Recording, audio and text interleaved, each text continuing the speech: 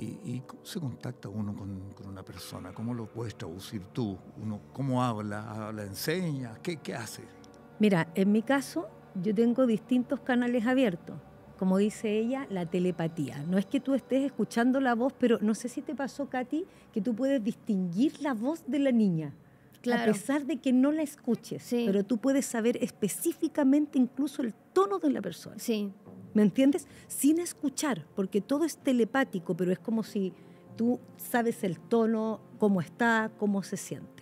Entonces hay distintos tipos de canalizaciones.